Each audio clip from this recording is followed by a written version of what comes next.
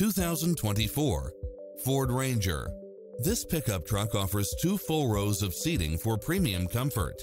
Fall in love with its many extra features, which include the following.